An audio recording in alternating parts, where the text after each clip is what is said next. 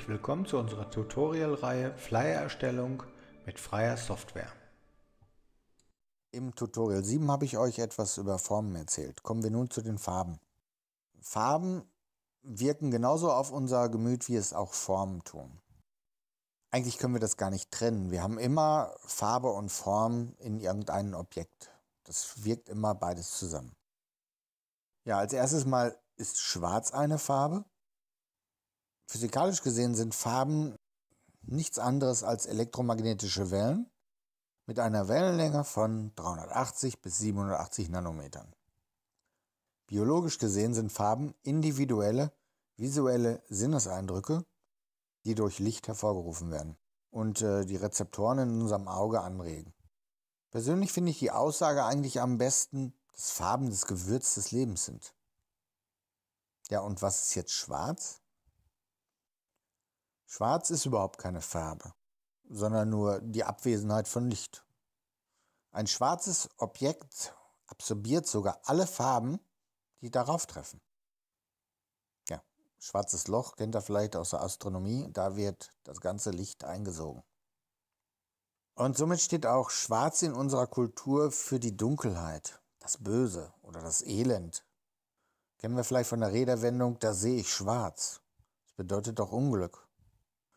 Oder die schwarze Katze, der schwarze Tag, sich schwarz ärgern. Alles negative Emotionen. Es deutet auf nichts Gutes. Und schwarz ist auch die Farbe der Trauer. So wie das Gegenteil von Dunkelheit das Licht ist, ist Weiß das Gegenteil von Schwarz. Was ist dann Weiß? Oder vielmehr, was ist weißes Licht? Mit dieser Frage hat sich im Jahre 1666 schon Sir Isaac Newton auseinandergesetzt. Er schickte einen weißen Lichtstrahl durch ein Glasprisma und entdeckte die einzelnen Spektralfarben. Spektralfarben, das sind wirkliche Farben. So könnten wir sagen, weiß ist die Bündelung aller Farben. Aber weiß selber ist keine Farbe. Bisschen verrückt das Ganze, ne? Ähm, wenn ihr euren Bildschirm hier betrachtet, dann seht ihr drei Grundfarben. Und zwar Rot, Grün und Blau. Deswegen nennt man diesen Bildschirm auch RGB-Bildschirm. Für Red, Green, Blue. Und wenn alle diese drei Farben zusammentreffen, dann haben wir eine unheimliche Lichtintensität. Und dann sehen wir weißes Licht. Natürlich habt ihr meistens so eine gute Auflösung und da sieht man die ganzen kleinen Pixel, sieht man heutzutage gar nicht mehr. Aber können uns vielleicht noch an erinnern, dieses eine Video mit GIMP, wo, wo wir gesagt haben, dass jedes Bild aus irgendwelchen kleinen Quadraten entsteht. Genau das ist das. Und wir haben jetzt hier Farbquadrate, die leuchten. Und diese drei Grundfarben, Rot, Grün und Blau, wenn die alle zusammentreffen, dann haben wir weißes Licht. Farbpsychologisch ist Weiß die Farbe der Unbeflecktheit und Reinheit. Kennen wir Erstkommunion oder das Brautkleid. Nur Vorsicht, ähm, in anderen Kulturen ist es ein bisschen anders teilweise. Zum Beispiel in östlichen Kulturen wie in Japan ist Weiß die Farbe der Trauer und des Todes. Bei uns hingegen ist Weiß auch heute noch ein gewisses Statussymbol. In der Mode vermittelt Weiß immer eine gewisse Eleganz und man zeigt auch, dass man sich die Hände nicht schmutzig machen muss. Der typische Malocher trägt bestimmt kein weißes Oberhemd. Weiß ist aber auch eine Farbe für Kühle, wie Winter, Frost und Schnee. Und Vorsicht mit Weiß in der Werbung. Farben, Spektralfarben wie die Grundfarben, die ich vorhin genannt habe, verlieren mit Weiß immer ihren Glanz. Jeder Maler wird euch sagen, wenn ihr eine Wand knallig haben wollt, dann streicht die vorher grau als Grundierung und dann erscheint die Farbe glänzender. Wenn ihr in euren Design weiß verwendet, dann denkt dran, dass weiß immer nur die Farbe eures Papiers ist. Das Papier ist also verantwortlich für den Weißton. Es gibt auch keinen Standarddrucker, der weiß druckt. Auch nicht einen Schwarz-Weiß-Drucker. Der kann nämlich nur schwarz. Denn wenn du grünes Papier nimmst, dann hast du einen Schwarz-Grün-Drucker. Und da haben wir nun endlich unsere erste richtige Farbe, das Grün. Grün ist die älteste aller Farben. Als noch die Amöben im Urschlamm steckten, war die Erde wüst und leer und überwiegend grau, also eine Schattierung zwischen unserem Schwarz und unserem Weiß. Erst durch das Chlorophyll, also das Pflanzengrün, konnte mit Hilfe von Licht Lebensenergie entwickelt werden. Und die Erde ergrünte. Grün ist die Farbe, bei der wir am meisten Farbnuancen wahrnehmen können. Es ist medizinisch erwiesen, dass Pflanzengrün eine beruhigende Wirkung auf uns hat. Und somit ist Grün die Symbolfarbe für Leben und Natur. Wir kennen auch für den Wald den Begriff der grünen Lunge. Ein guter Gärtner hat einen grünen Daumen. Grün steht für Jugend und Wachstum. Na, seid ihr auch noch grün hinter den Ohren? Doch es gibt auch negative Emotionen mit der Farbe Grün. Denken wir an den Begriff der grünen Hölle, für den Urwald, der alles zuwuchert und erstickt. Oder an das Giftgrün. Unterbewusst meinen wir damit eine Frucht, die noch nicht reif ist, uns den Magen verderben kann, ungenießbar oder vielleicht sogar giftig. Und da kommen wir auch schon zum nächsten, zur zweiten Grundfarbe.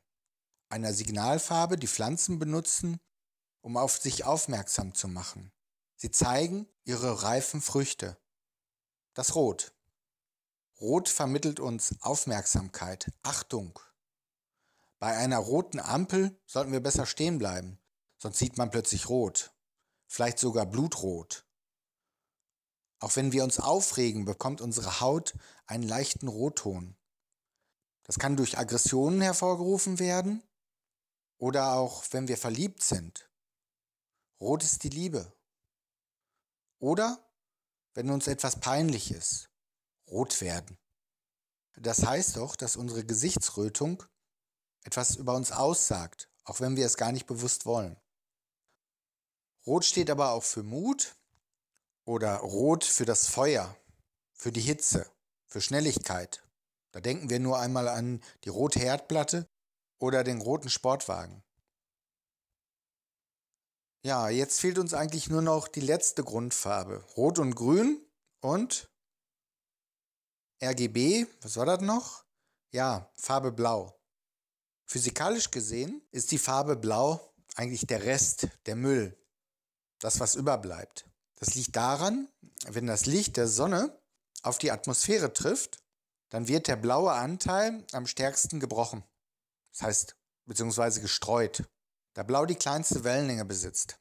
Deshalb erscheint uns die Sonne auch gelb, da der Himmel ein Blaufilter ist und das blaue Licht ausfiltert. Also haben wir noch Rot und Grün und die Mischfarbe ist Gelb. Und den meisten von euch wird das jetzt wahrscheinlich ein bisschen mulmig vorkommen oder negativ aufstoßen, da Blau die Lieblingsfarbe Nummer 1 ist und man sollte sie nicht unbedingt als Müll bezeichnen. Woran liegt das? Ganz einfach, Blau ist selten. Naja, jetzt werdet ihr sagen, der ist bekloppt. Was erzählt er uns da? Blau ist doch nicht selten. Alles, alles hier ist blau. Der Himmel ist blau, das Wasser ist blau. Ja, aber es ist so, dass Himmel und Wasser uns nur blau erscheinen. Es ist nicht greifbar. Es ist nur eine Illusion. Und ein natürliches Blau ist sehr selten.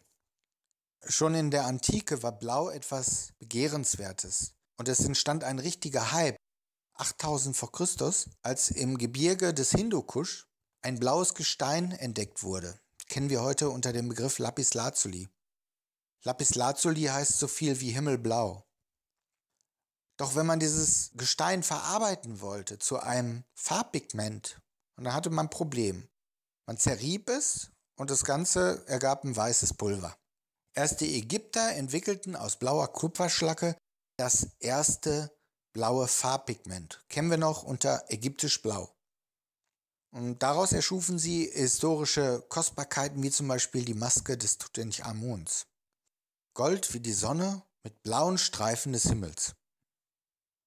Und heute verbinden wir mit Blau noch die Weite des Himmels und die Weite des Meeres, also Distanz und Kühle, aber auch Vertrauen und Sicherheit. Letzteres machen sich noch viele Versicherungen zunutze, Versicherungen und Banken, indem sie blaue Logos benutzen.